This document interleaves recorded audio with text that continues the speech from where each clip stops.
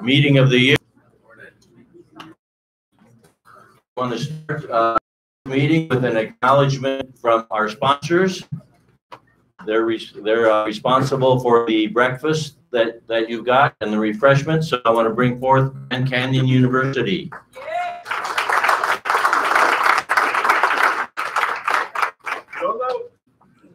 What's up?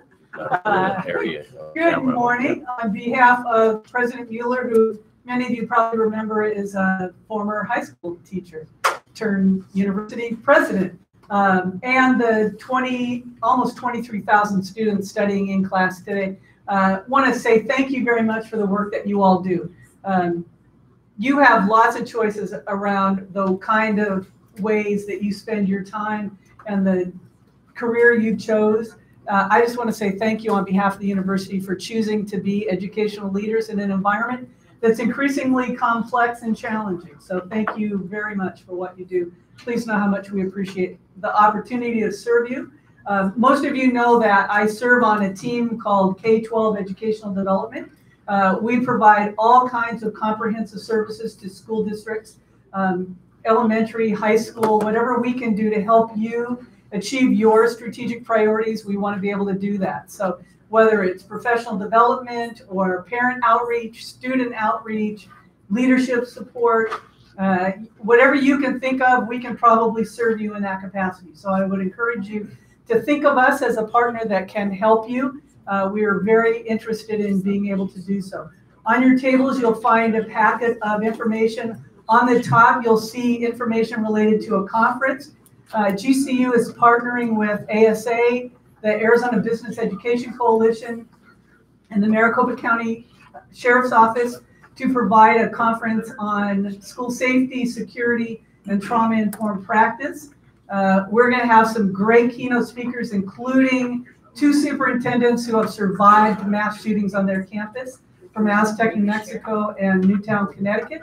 Uh, the Director of Homeland Security, Cindy McCain, a number of great people, and then about 100 different breakout sessions designed to provide really practical information for you. So please think about bringing teachers, administrators, um, your support staff like counselors or social workers, SROs, uh, parents. Law enforcement is invited. We expect a great turnout and would love to have you join us. If you have any questions about the conference or anything else uh, in the flyers that I've shared with you this morning, please feel free to reach out. I'll be here all morning and you all know how to reach me when I'm not here with you. So I'd like to introduce you to one of my colleagues from the admissions team, Eric Strong. Thanks, Jennifer. Um, my name is Eric Strong. I've been with GCU since 2003. I actually moved here from out of state to to work here, and it's funny walking on campus. I think I saw maybe three students walking around, and it was just a real sleepy place. It's been really, really fun to watch the university grow, and it's become uh, a really awesome place to be. Uh, part of my responsibility is uh, I'm out in the school systems. I help staff who are looking to um, move forward with their education. Uh, a lot of administrators, education administration is one of our main programs. Uh, we offer most of our programs online, so you, uh, some of you may have seen me out in your schools. Um, I will continue to do that and be around doing that.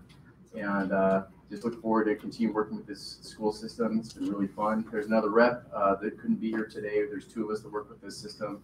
Uh, Jennifer Collins, see myself and her out there in your schools. Thank you. Thank you, Grand Canyon University. Now I'd like to bring up our two, uh, our director, executive director, and our associate director from the State Board of Education, longtime friends of ASA, Alicia Williams and Catcher Baden, for an update on the State Board of Ed. Thanks, Mark. To both of us today. I'm just here to look pretty. I thought that was my job. Ah, Okay, uh, so just broke this. So the big thing, uh, I know some of you may not be fans of the accountability system, that's okay. But I can say that the accountability system is now done until 21, 22. And if you know what we've been doing since 2017, you know that every year we're creating it as the school year is going. You mean we're gonna have the same accountability system for more than one year? yes. I, I know, it's very exciting. Well, just Uh, for traditional and all. Especially at a staff level, it's exciting. We're not running around trying to figure out an accountability system and then get it in front of the board um, last minute. With that, with the accountability system being done until the 21-22 school year, what we're hoping to do is match up any new accountability system with a new statewide assessment. Knowing full well that when you implement a new statewide assessment, you will see approved by the board prior to the 21-22 school year.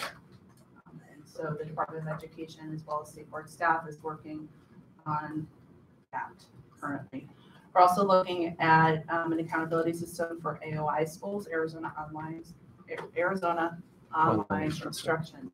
Uh, which the State Board of Education oversees for district schools. And then there is some talk about looking at middle schools, especially those schools with a makeup of seventh and eighth grade, um, to see if the accountability system is hurting those schools and if something needs to be done in order to ensure that those schools are, are able to access points. So that's what we're doing right now.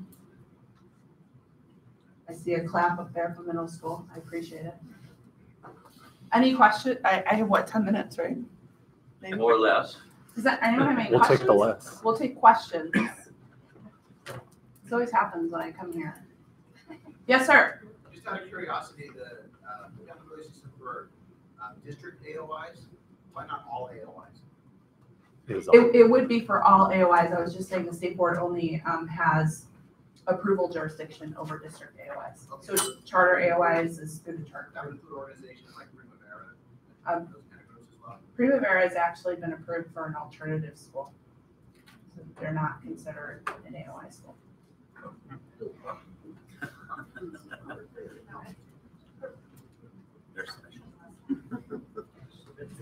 Do you have anything you want to say? Okay. good.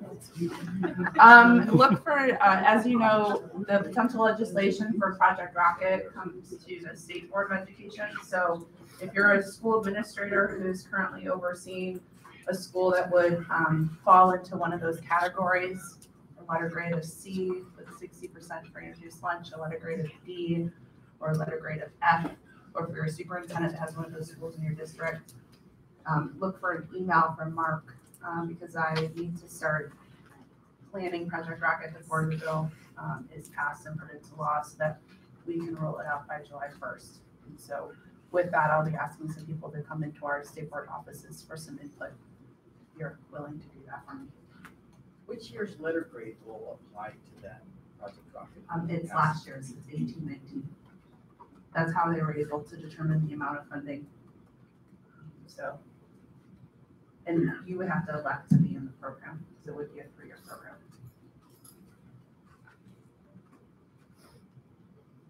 Okay, Thank you. There you go. Thank you, and to clarify that question, in case you didn't hear it, last year's, the eighteen nineteen school grade that schools received, C, D, or F will be the one that will qualify or not qualify schools for Project Rocket. Again, should that make it all the way through the sausage-making process known as the Arizona Legislature.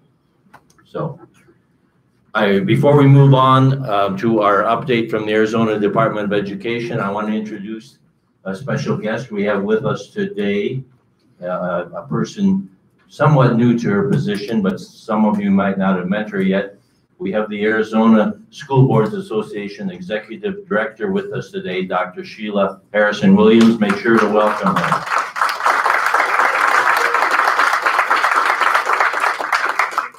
Okay, now we have with us two individuals from the Arizona Department of Education to uh, give us an update.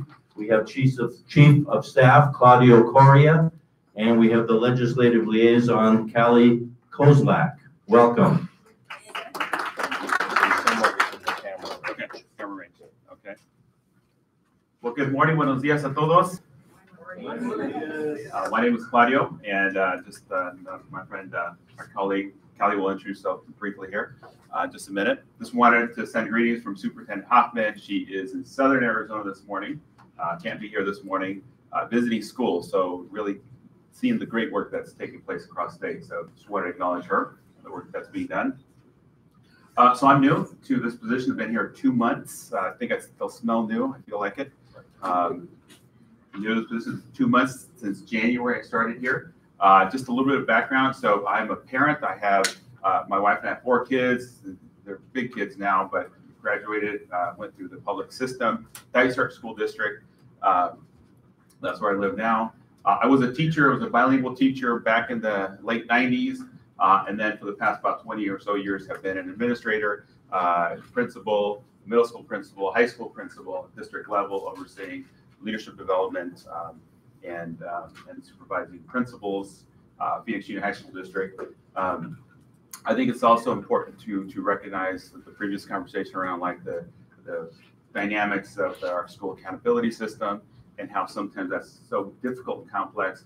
So I, I share that with you to share that uh, we are very aware. I mean, Kathy has done a great job of uh, bringing in people who have school experience, understand the complexities of navigating large systems and, and the inherent in, uh, complexities and unfairness with the systems that we have. So we are very uh, aware and intentional about keeping that in mind in the work that we do.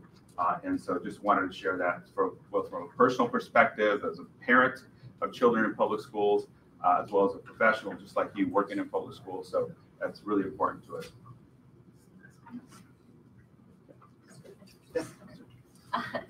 Um, good morning, everybody. Thank you for having us here. Again, my name is Callie Kozlak. I lead the policy and government relations work for, for the agency, and um, I'm often over at the ledge with a lot of um, the folks that represent you all at the Capitol. And then what we'd like to do is just spend a few minutes here just doing some updates from the agency updates as well as legislative um, updates. And so the first one that I would think is on everybody's mind is the coronavirus, uh, COVID-19. Uh, and so just wanted to just have a quick conversation about that. Uh, we are developing uh, guidance uh, right now at the department uh, for U.S. schools to think through that as you communicate with your staff, you probably already have, uh, with your stakeholders, your parents, and, and so forth. we want to be comprehensive about that. We have had a communication this morning, but in light of the governor and Dr. Christ conference this afternoon, we're going to hold off on sending that and make sure that the communication that we have, the guidance that we have is, is up to date, as up to date as possible, and then we'll, we'll share that with you. I think Dr. Jorstad sent out something last week from Maricopa County Health that, that was very useful. Uh, we also use that as part of our, of our guidance. Uh, so that's really important. Just wanted to give a couple of uh, updates on that one here. Um, again, I mentioned that uh, Governor Ducey and Dr. Christ will have uh, a press conference afternoon. I think that will be very useful for us. I think the other thing is Dr. Christ and Department of Health Services will have a webinar on Wednesday, and uh, you should have received some communication about it already. If not, we will definitely put the specifics uh, on our communication to you. Uh, so again, it's going to be Wednesday from 2 to 3. It's a webinar, uh, and it's specifically geared for uh, schools and school districts and, and, thinking about students and so forth. Uh, I know that we've received calls from parents, from school folks, such as you, around some guidance around that, some specific questions. I spoke with Dr. Christ on Friday just to get us up to date and just let her know how important uh, that this is for our school leaders to have the up-to-date information with the right guidance. There's question, very complex questions around like school closures. Uh, we're seeing that in Japan. We're we're uh, we're hearing more more about it, uh, and I think this issue is not going away anytime soon. So the more prepared you are, the best. So we're, we're developing that. Uh, any any initial questions about that? I have a couple more updates. Do you know when that communication will be coming from, from our department by the end of this afternoon, by the end of uh, close of business day, we'll send that out. Again, we want to wait for uh, Governor Newsom, Dr. Christ, just to make sure everything on there is up, up to date and then send that out. Good question. Uh, and then um, a couple things, uh, the retention and recruitment efforts. We know that of all the school improvement efforts out there, we know the one that's tried and true, and that is having the right adults, the right teachers in front of the kids, right? That's what matters. Everything else is important, but this is critical. So uh, we are supporting those efforts. Uh, we did anybody attend the job fair, the big job fair this weekend, Saturday? You saw you there. Okay, you and your staff there. They did a great job. By the way, it was packed. Uh, We had uh, over 900 people registered and then 200 people show up, you know, independently. So we had a good turnout. Uh, I checked with most folks uh, and uh, they said they were getting some good quality applicants. I saw a couple of sheets, you know, they signed in. So a couple of sheets, uh, that, that was a good, that was a good sign. So uh, count on us to continue to support that work. Uh, folks in the southern part of Arizona, or you want to, you know, go there uh, and retention side, really working with you. There are some great work. There's some great work that's taking place in the districts right now. Uh, and so one of the pieces that I think is really productive that you're doing already is kind of the grow your own, right? Understanding that there's great people within your community and how do we help them kind of, you know, level up, right, with that education, uh, with certification. And so continue to work with us in our department uh, to make this uh, process a little bit smoother. You know the good people that you have in your community. Let's let's leverage them so that they are uh, providing that teaching support that you need. Can I answer that? Uh, and then uh, finally, just wanted to share with you from my end, and then I'll pass on to Kelly, uh, is that uh, we uh, we have just uh, we have created a position post-secondary coordinator, and this person is to connect with the work that you're doing around increasing access and success in post-secondary opportunities. I know you're like I know that districts have been working on this for a while now. I know I have that experience. Um, but we as a department have now have invested in that to make sure that we're supporting the work that you're doing and, and supporting the, the transition of students who are leaving your system and then entering the post-secondary system. So we are committed to that. Uh, we're in the final stages of interviewing uh, some great folks and uh, we'll make a decision here shortly. So that's just another commitment that we have. And then I think uh, finally from my end here, uh, I shared this document here. It is a survey. Uh, I know I didn't have enough for everybody. That's okay because I have it very useful. Uh, it's the, just two questions, two question survey. People take two question surveys. More than that, I'm not doing it, but two I can handle. Uh, and then there's technology too, right? There's a QR code. It works. I tried it. Uh, so if you'd like to give us some feedback, this is something that is really important to us, right? To set the right tone around like we work for you. I think I shared this before, but unless I'm still new, so I don't know any different. Uh, but the way I see it, we work for you. Uh, and so getting your feedback, getting your perspective is really important to us. So please give us some feedback. Uh, I'll, I'll go around and pick it up. If you, when you finish it, hard copy, send it to your right. Uh, and then I'll pick it up. And if not, the QR code works beautifully. We'll take that as well. Thank you, Claudio. Um, so I'm, I'm just going to do a quick run through of sort of the agency's work this legislative session um, and some of the bills that, that we're following in our budget request. Um, so just as kind of overall framework, I mean, when we think about um, policy and legislation and budgets from um, the agency perspective, we're, we're really trying to ensure that laws that are passed can be implemented by the agency and that we're able to operationalize them. So that's a strong lens that we use, um, and also to ensure we have enough um, administrative funding to do the work that is um, laid out in new legislation. We're also looking to support and get behind items that align with the superintendent's priorities, which are also which are mainly driven by um, what she hears from from the field, and to oppose items that do not align with um, the superintendent's agenda and could potentially cause harm to, to students, educators, and schools. For our budget requests this year, um, some of our priorities included um, funding for our investigations unit to, to try and limit the caseload. Um, our adult education program, we have a long waiting list every year um, of adults and disengaged youth who are interested in some of the certifications and um, school finance payment system. Um, currently, that work is underway to modernize and uh, replace the school finance payment system. It's a three-year project of $9 million, so we'll be going into the, the second year of it. Um, we're working closely with Department of Administration on, um, on that project. Um, we've also requested funding for our the ESA program um, to be able to administer it according to the law. And uh, we also requested school improvement dollars to uh, put more support behind our D schools. I think a lot of that school improvement effort this year will be funneled in through Project Rocket. Um, and the department is plans to work very closely with the state board on ensuring our, our federal level school improvement work aligns with a new state project around school improvement. Um, and we also had a request into our Office of Indian Education to provide statewide support across um, across the 22 tribal nations.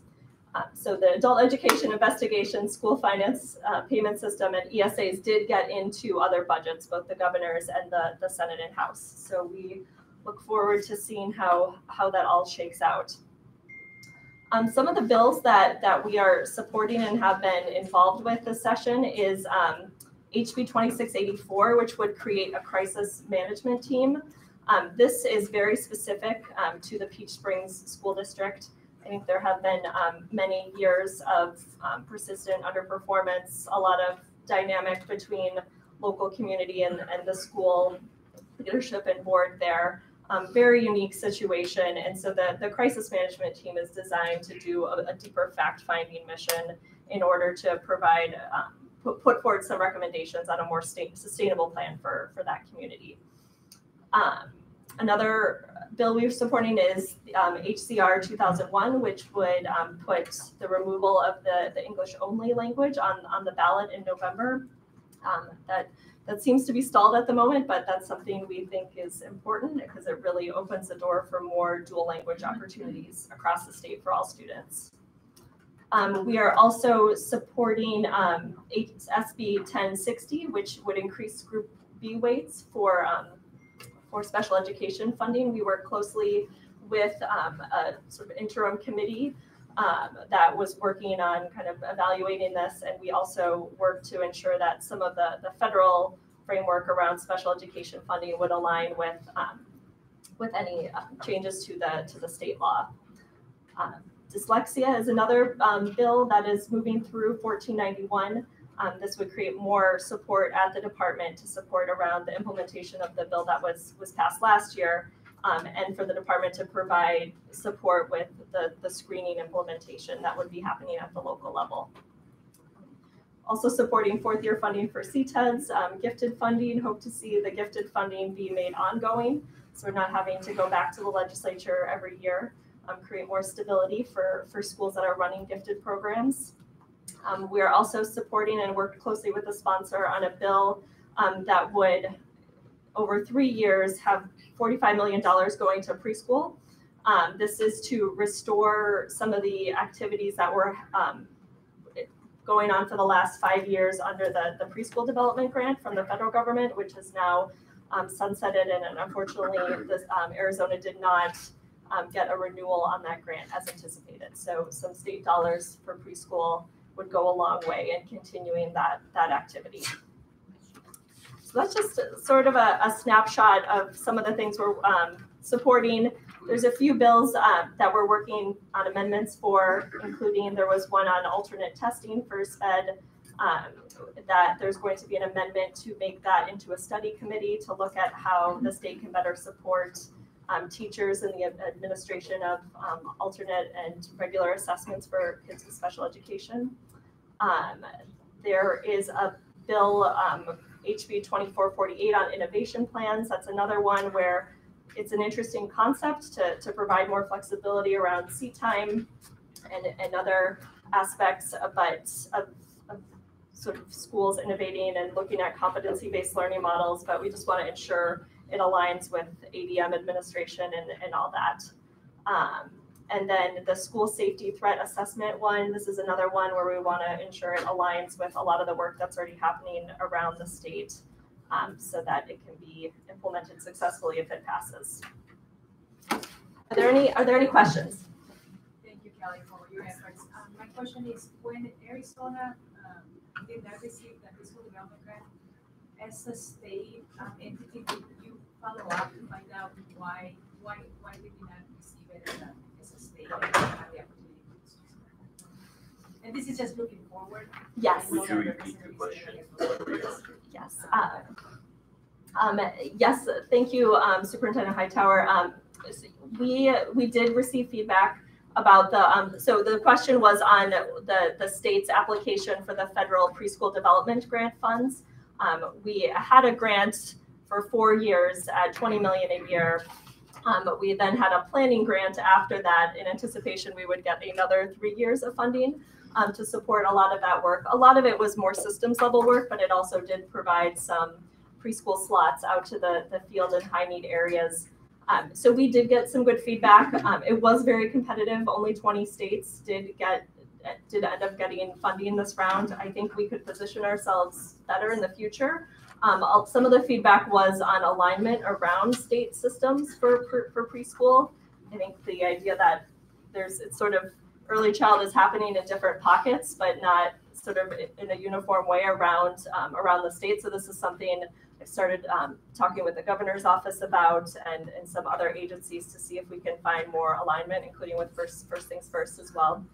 Um, and, and also, I think part of the um, issue they saw too was there was no sustainable state funding or sort of skin in the game at the state level for preschool. So, so again, this legislation that would put some investment of state dollars into to preschool could could help position us better in the future. I just have one more. So just as, in closing, just want to thank all of you, just want to acknowledge all the great work that you're doing across the state. On behalf of children, we acknowledge that. Just thank you very much for that good work. Continue uh, this amazing work that you're doing. Count on us to be great partners with you. So I know there's superintendents here, principals, uh, university folks. Uh, we appreciate all the work that you do, uh, both on a personal level as a parent, uh, children, public schools, but also professional. So count on us to be great partners with you on this incredible work. Thank you. Thank you, Department of Education, Claudio and Callie. Now we're going to the legislature and on your behalf, and they are there literally morning, noon, and night. They have no life during the session.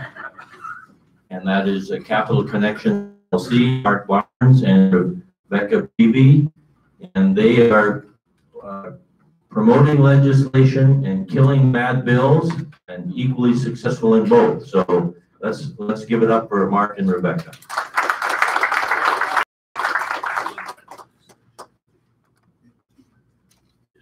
Hi, everyone. It's nice to be here today. Um, we're gonna go over a PowerPoint that I put together Saturday night at eleven o'clock because I really have no life during this time in session. Um, and I know many of you, um, so we wanted to present to the whole group today so that principals and higher ed and everybody could hear the legislative update at this point in the session. So we do have a legislative committee made, made up of mostly superintendents uh, who goes through the legislation that I send out, or we meet in person to determine. And one thousand five hundred and eighty-one bills introduced. Three bills have been signed by the governor. Um, Friday afternoon, leadership was claiming that they'd reached a budget agreement. We're not so sure that died. Fillmore was not happy about that. All of his bills are dying, um, whether in education or in other, um, right, or in other areas. We told them, you know, introduce better bills and then they won't die. Um, so twenty fifteen is another Fillmore bill. It requires districts, um, review and approve all supplemental materials used in the classroom. Uh, he does not have the votes to get it forward, so he is not putting it to a, um, third read vote. There was a couple, uh, superintendents who reached out to their legislators to tell them that this is a huge problem. Um, so that was great that ASA and superintendents have that impact. Um, he asked us if we would let it pass out of the House so he could use it as a striker in the Senate on consolidation, and we said absolutely not.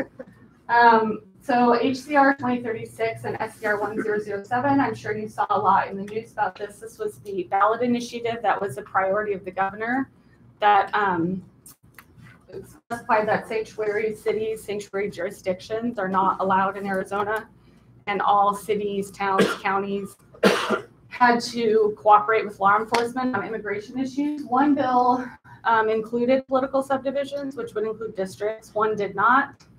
Um, the one that did not have political subdivisions amended in. Then they said they were going to take it back out. So they were going back and forth on that until finally they realized they did not have the votes. Um, we didn't like the bill because it included, because it was not a good good bill, and also because it included um, political subdivisions, which would cause some confusion in districts who um, so anyway, so that, they, they announced they didn't have the votes and they're not pursuing that anymore. House Bill twenty-one nineteen, I'm sure you saw a lot about this too. This was, um, a Udall bill related to transfers of, of credits. Um, as you know, right now, when you take a credit from another school or an AOI, you can assign it, um, before they give a core credit to credit that's transferred and require a final exam. Um, Representative Udall's bill said that if the class that they took that they're transferring in had an in-person final exam, then the district had to accept it as core credit. Uh, what she was trying to do, she she just came up with this idea on her own as an algebra one teacher. She says she sees a lot of people who go and take um, algebra one, they fail it in school and go and take it online, and then are not prepared for the next year of math. So she was trying to do something to help us. Um, I told her we prefer status quo, where we can give our own end of course assessments to anybody transferring, trying to transfer in core credits. Um, and the, the AOIs did not like the bill. They did not want to, um, to administer in person. She did all last summer. I know some of you attended those. We, we went to about 40 or 50 last summer. So I'm not, not super excited about that, but it's better than the bill getting through. Um, House Bill 2367, I called several of you at the last minute for some help on this bill as well. This is for Representative Dunn, um, the Yuma area. He wanted to put in statute that when a student enrolls in school, the parent has to provide verifiable documentation of legal custody. Uh, we weren't entirely sure what he was trying to get at with that, but we said it was, um, you know, we didn't know what that meant and it was an administrative burden and the enrollment process right now is pretty clear and working for everyone. Um, so he was going to hold the bill and not move it forward, but he decided to amend that provision out and just run a bill that, I'm sorry, Callie, that moves, that Callie and I have been working on this, that moves the um, enrollment guidelines that have to be adopted from the department to the State Board of Education. Sorry, Catcher and Alicia too. I tried. So um, he's claiming, he and Representative Udall are claiming that the enrollment um, guidelines are not clear and that they've been changing. You know, we tried to explain to them that they haven't. Um, they just have a different viewpoint. So that that passed the House of Representatives on a party line vote. Um, there's some weird weird stuff going on with that. So we'll see where that goes. Uh, 1503, the legislative committee looked over this in depth. It's um, what what Representative Boyer is trying to do is ban electronic communication between students and employees of a school district. Um, the bill was pretty long and lengthy, and um, when we looked at it as a legislative committee, we had to we had to um, It work was bad, with. just say it, it was bad. Well, it was confusing, and um, most of our districts have already adopted these policies, and we don't think a state law will prevent, unfortunately, prevent somebody from engaging in grooming behaviors with a student. It's just an unfortunate um, thing, especially with technology now. But we worked on a floor amendment with the state board and with ASBA to clarify the difference between school technology and personal technology to ensure that teachers can use their personal phone or personal laptop so long as they are accessing a district approved platform like their email or something like that or even like a classroom website that they've set up so long as the district is aware um, that it exists 1357 this one was a pain as well um, Kate Brophy McGee voted no on this committee, when, which was good. We did not like this bill. She was planning on voting for it. We had three superintendents reach out to her um, and she said, I have to, you know, I'm going to vote for it in committee, but I'm going to help you with before it gets to the floor. And when it got to committee, some teachers testified and they did a really good job explaining why. Um, what the bill did is it required all instructional material to be approved by the district governing board 90 days before the school year. And the way the definition was written, it included websites, worksheets, um, anything that a teacher uses in the classroom. So an AP history teacher went up there and showed all the primary sources, documents she uses, and they just did a really good job testifying um, on why the bill is problematic. And our superintendents reached out to her. She voted no and helped us work on a floor amendment um, that specifies, it kind of clarifies the language around um, parents being able to, because there's a statute that already exists where parents can request to review textbooks and curriculum. Um, so it clarifies that. And then it does require that districts post on their website the district approved textbooks that they're using. Many districts are already doing this. I know Scottsdale is, Cave Creek does, Mesa does. I don't want to keep pointing out just, but a lot of districts do. But that would just be the textbooks that are approved and adopted by the board, um, which is way better than what the bill originally was. And that's thanks to the Democratic caucus and Senator Pace, um, who's in the Mesa area, and Senator Brophy McGee really helped with that. Go.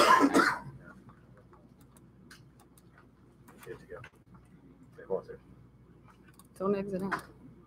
Can we get some help with the PowerPoint? Right here.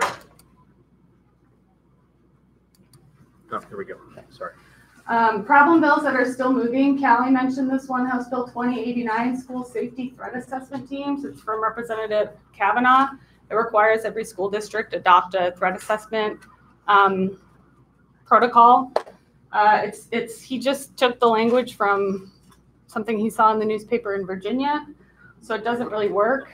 And I went, um, and met with him and told him superintendents are you know, supportive of the concept of threat assessments, but the way this is written really doesn't work. This needs some major work and it doesn't include charter schools. And I was hoping that would stop the bill, but he amended charter schools in, which we were pretty surprised by in education committee. Um, we were able to hold this bill from being, it, it kept showing up on a final read calendar and it didn't have the votes to pass. We were able to get it retained four times.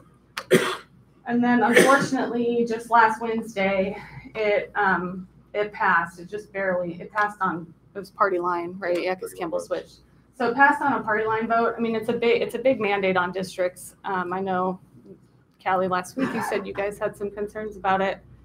Um, so that's something we're gonna have to keep working on more seriously now that it got to the, it's going to the Senate.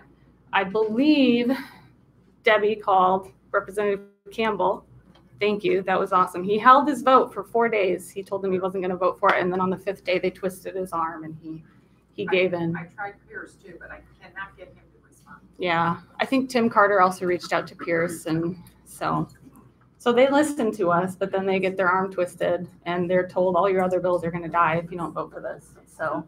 Uh, 2128 is still moving. It hasn't gone to a floor vote in the House. This requires um, the Board of Regents and the Department of Ed to coordinate fall and spring break, so they match.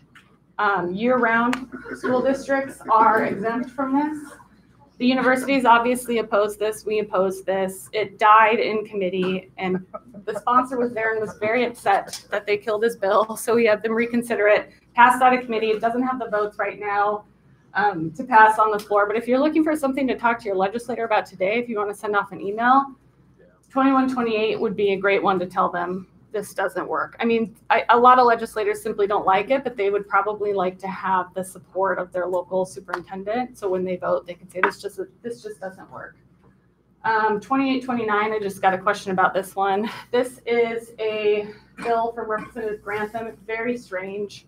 I don't, a lot of you know the Education Lorax. I can't remember his name, the guy that wears the orange shirt. I'm looking at you, Debbie, because sometimes you're at the state board. You know him. The guy, Oh, The recess guy? No, not him. He, he shows up in, He introduces himself as the education. Yeah, he's into charter school accountability. Um, and so he ran this, Joe, Joe, Joe, Joe Diaz. Joe, So Lorax. yeah, Mr. Lorax. Um, so he ran this bill with Representative Grantham, who is a conservative from LD twelve, where there's a lot of charter schools, so it's kind of weird. I don't know if he knew what he was getting into. Um, LD twelve is the Gilbert, Queen Creek area. Uh, so it requires schools and charters give an annual financial statement to their teachers that has all their medical benefits, their retirement benefits, their social security paid, all of that. Um, I signed in, nobody else did anything on it. I signed in neutral saying it was an administrative burden. Um, I would think the charters really wouldn't like this bill. So waiting to see what they do when it gets to Senate Education um, with Sylvia Allen. They can usually get her to listen to them. I mean, teachers can get that information now, so. Um, uh, civil liability gun-free zones, this is a really bad bill. This specifies that any gun-free zone can be found liable if there is a, if somebody is harmed in a gun-free zone and believes that the possession of a gun could have prevented their injury. Um, it holds the gun-free zone civilly liable. Yeah, yeah.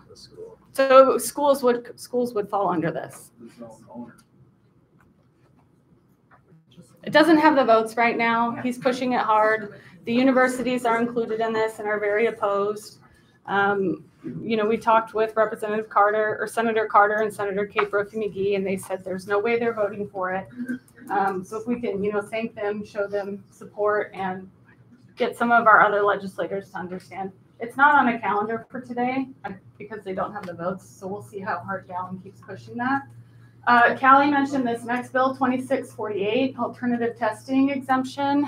Um, I believe that amendment was adopted on the floor last week that establishes the study committee um, to, to study uh, assessments for kids with special needs. The superintendent is listed as someone who would sit on that study committee. Um, college credit by examination, uh, twenty-four thirty-eight.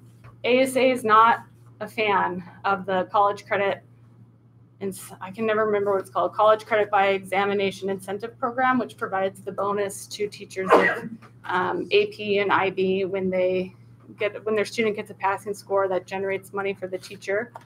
This bill appropriates an additional million dollars to the incentive funding because they were two or three million short last year and they had to prorate down the bonuses.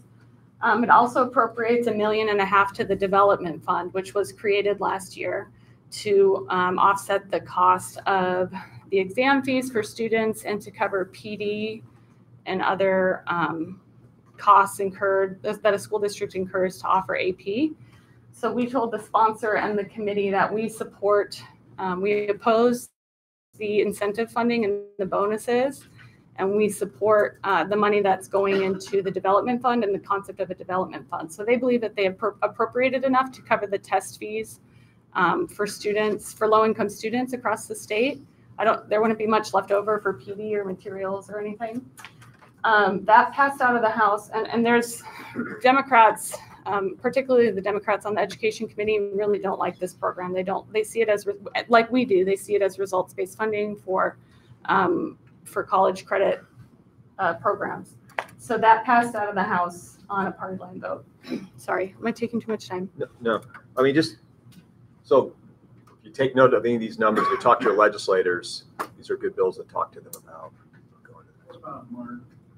Is it, I could we get a fiscal note attached to threat assessment because of the extra burden? Uh, we could ask for that, yeah. They would call us and ask us. They So would What ask. you're saying though is these are bills that we would like to stop. So if you want to send any legislators emails, these are the ones to say, hey, we don't like this.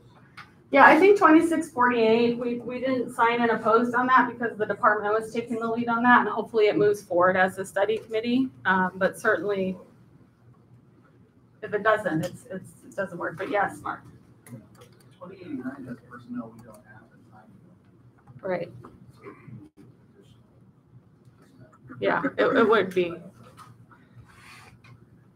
Okay. All right, go on to the next slide. Yeah, so then these are just other bills to note. There's a, a cook bill that specifies that, um, school districts can't prohibit students from wearing cultural regalia at graduation ceremonies. Bowie has a bill that says the department has to, um, adopt rules to allow mental health to be a, uh, mental health day to be considered an excused absence. We told him he didn't need the bill and, and you could already call, you know, a parent could call in and take a sick day, you know, for their child and for a mental health issue. Um, they really wanted the bill, so that, So, um, a suggestion might be, um, for the bills that you want us to write emails to, I can help, or if anyone wants to, do you prefer, or, you know, do you need some talking points on that? So, um, okay. Target one of the bills.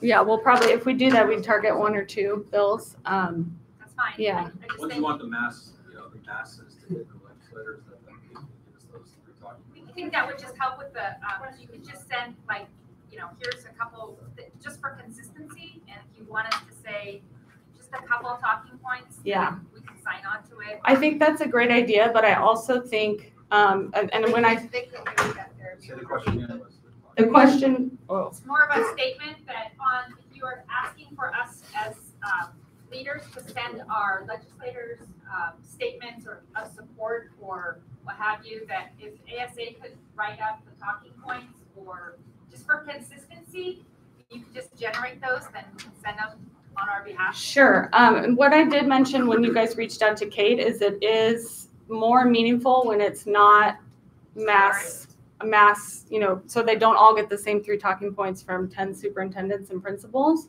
to tweak it. And I saw what you guys sent. It was great to tweak it more to your district. So they don't feel like it's just a mass email that but we could use your bullets. to Yeah. Customize, there's Okay. so many bills, Right. sometimes we're, we confuse which ones we're talking about. So if you have like the first two talking points and then you say the third one, uh, make it fit into your story, like you kind of did with the other one, that, that worked really well. Where you said these are the two that have got to be in there and then how it impacts, you know, Humboldt or Washington or something like that. So Okay. Then we I- can do the impact. The impact is where we really affect the K guys. Yeah. And, and many of us have their cell phones, and so we text them rather than, we tend to hear back from the ones we text, not the ones who we just have their email. Yeah. So we can be brief and and get that in there. What do you? We're going on. Uh, so can I, can I keep going? Go. Okay. Senate Bill fourteen forty-four, I covered. Fourteen forty-six is another Bowie bill. It requires, um, at the high school level, any school that issues student ID cards to print a national suicide prevention number on that. Um, just when you issue, when you create and issue the new ID. So it's not, uh, yeah, and that's why I couldn't, we couldn't oppose it because he said, you're already doing this. So fifteen eighty-seven is a Quezada bill he's introduced for several years. I was shocked to see it on a Senate Education agenda last week. Um, it's his unpaid school meal fees bill that he's run in the past. That's very long, um, and, and includes prohibitions on. Um, so what got the committee was a prohibition on school districts serving an alternative meal to students who cannot pay. Um, a prohibition on requiring chores or any, um, discipline action on a student who has a negative meal balance and a prohibition on treating them differently than other students. Um, Rebecca, do we know who he thinks is even doing that? No, I can't, yeah, Really, I did, does the bill say anything about what will be done if a student cannot or does not pay for a meal? no, it does not address that. Basically, it's feed them and pay for it, and no, you don't get any money. Figure it out. Quinn, So just to put it in context, we're up to two hundred thousand dollars right now, current yeah, um, we've worked on this bill in the past and it's not, it's gonna be hard for him to get it to the finish line because I think a lot of legislators see that. And we also have conservative, more conservative legislators who don't think schools should be feeding kids at all. There should be no national school lunch program on our campuses. Um, so for him to get that across the finish line would be a big lift. Uh, Again, I was shocked to see it on an agenda. It hasn't gone to a floor vote yet. Um, so we'll see, we'll see where that goes. And if it really starts moving, we'll engage more on that. That just went through last week. Um, so the governor's two priority bills I put on here just so everybody is aware outside of the legislative committee. Um, twenty-six, twenty-five requires schools, um, dedicate September twenty-fifth of each year to civics education. Thirteen fifty-six raises the passing score on the civics exam to seventy, and it allows seventh and eighth graders to take the test to meet the requirement. Um, here's a, this is a list of bills ASA supports, uh, but I want to make sure Mark has time to cover some of the funding things, so I, What was that last one for the test? Oh, yeah, here. I don't remember the bill number. Thirteen fifty-six. And these are both the Governor, Governor Ducey's priorities. Okay, thank you, Rebecca, for. You want the next slide? Uh, I want to cover a couple, a couple of funding issues. Um, You'll see, my memory's not good as Rebecca, but you know sometimes. Um, I want to cover three, three. Okay, there we go. You can answer questions. They were taking pictures. Okay. So three funding issues that are being um, discussed with the legislature. They're all in the form of bills that are moving along in- in some fashion or another. Uh, First one is Project Rocket um, project. Um, uh, Districts that qual, schools that qualify are in three categories. Um, uh, A C, a C school with sixty percent or more um, participation in school, reduced price lunch program. D and F schools, there's a little bit different criteria depending on where the school falls in those different categories. Um, Alicia covered some other aspects of it. Um, I'll move on to uh, special education funding. Uh, Senate Bill 1060 Callie covered this a little bit, but this is the, this is a result of our work with Senator Allen by a, a number of different groups. And what the bill does at this point is it, it, it's a fifty-six million dollar bill. Um, it funds the extraordinary special needs fund that schools can, can, uh, apply for funding from if they've got a student that they're educating. And the cost of that special ed student is three times that of the average funding for, for a- a pupil in our, in our Arizona system. Uh, it's funded at five million dollars. The other part of the bill is a permanent change in the Group B weight uh, for the um, specific learning disabilities, speech language impairment, and other health impairments. Weight is a 0.003 weight right now that generates about thirteen dollars per student and twelve dollars per student. That has increased in the legislation to uh, 0.12 or 0.114, resulting in about $501 allocation for students in this category. It's a permanent law change, so it costs the state about $49 million this year and about that much or more each, each, each uh, of the next year. So it's a permanent change in statute. Uh, There's a couple other, the, there's a couple other things in the bill. One is that the fund, the Extraordinary Needs Fund, can be used to pay for independent education evaluations. If a a parent asks for that, you can ask for uh, reimbursement through that fund. And then a, a a very large bill, the School Facilities Board. Um, There is, over the summer, there was a lot of work done related to what could be done at the School Facilities Board and reform it. And that discussion um, resulted in a number of things. One is that the, the, some members of the legislature thought it just couldn't be reformed and had to be replaced in a way. And so, uh, House Bill twenty-six twenty-nine basically transfers the functions of the School Facilities Board to the Arizona Department of Administration. So all the authority, powers, duties of the School Facilities Board goes over to the State Department of Administration. And then there is a School Facilities Board Oversight Board within the Department of Administration that's formed and is responsible in, in um, coming up with some, some policies that are, some of them are aimed at better communication between this area of state government and school districts, like required timeframes on correspondence and replies back to districts, things like that. And then it creates a school capital assistance fund with a per student distribution. It, it, it appropriates forty million dollars and then account allocates that forty million dollars to just district schools based on their weighted student count. Um, uh, amounts to about thirty-five dollars per student that's allocated to districts. And then districts can use that, that money to take care of minor repairs, replacement, some infrastructure needs. And then, um, the building renewal grant program still exists and is, and, uh, sixty million dollars is appropriated to it under this legislation. Districts can still tap that to do some of the more major repairs on their facilities. Um, there's some, some things in the bill, like in order to apply for the building renewal grant program, the repair or the application for that, whatever that thing is, the application relates to, has to be um, enough that it couldn't be covered with fifty percent of the allocation from the um, school capital assistance fund. Um, there is a a fairly large, the, the the legislators running this bill want input from districts. And we've given them some in- in- input. They are having a sort of a, um, a meeting we put together with ASBO, ASBO and ASBA's help on Thursday, where some of the districts are going to come together with Andy Tobin, the Director of the Department of Administration, and Representative Udall, to make sure this legislation is hitting the mark and is resolving the bulk of the issues that districts have with the school facilities board. Uh, that sort of concludes what I wanted to cover. Happy to answer any questions if there's time.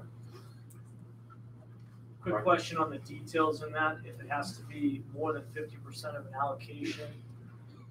um, Do we have any idea how that would be structured? If you have multiple campuses that all have three hundred thousand dollars worth of roofing projects, and that three hundred thousand doesn't meet, typically it's a single, single grant for each site. I, think it's done by, the allocation, I believe it's done by district, so pretty large district, Brian. So let's say you receive six hundred thousand dollars Correct. through the allocation. You've got an application in for under three hundred thousand. Probably, they would say, no, it has to be at least fifty percent of your, of your uh, your capital, your school capital assistance fund allocation. know So I'm if it was saying? a three hundred and fifty Yeah, it is a thousand pro- dollar it's a problem. application. That's a problem. Right. If I Yeah. have five or six sites that need Yeah. two hundred fifty thousand dollars worth of work. And this, done, the three- sponsor No, knows I think that, it's, but it's, if you consolidate, I don't know, you consolidate those. but the spot, the sponsor knows that's an $100,000, if you issue. have to do three of them, you're over, but on one of them, you're not. Yeah, she thinks that, the sponsor representative, Udall thinks that we need to look at this, she called the threshold, it's a threshold, and figure out how, you know, how it's managed. And that's part of the, you know, conversation Thursday morning. Yeah, so I'm just asking if you could take that forward as part of the conversation. We, I That's spoke to about- her about that briefly in the lobby and she was like, yeah, we just, we need to get something in there, but I know that's an issue. So I expect, To make it be taken out. I expect that that would get addressed, cause you're right. I- The, the way you're seeing it is the way we're reading it. Jeff?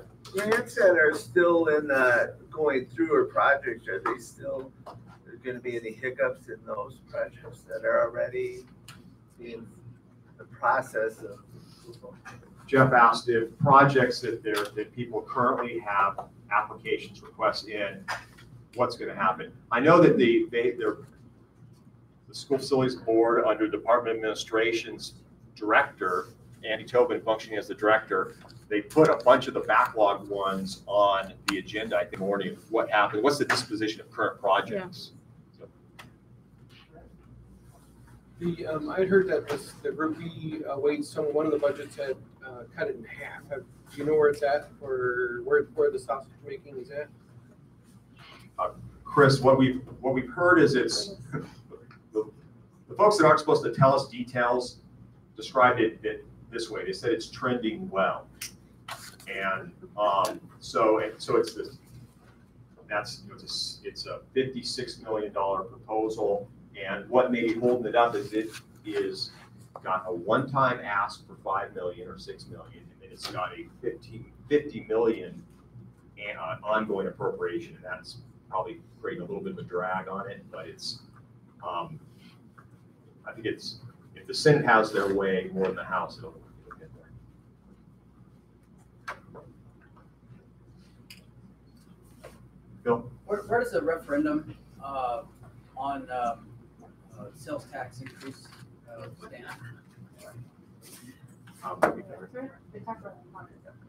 It's in the Senate, and it doesn't have the votes right now.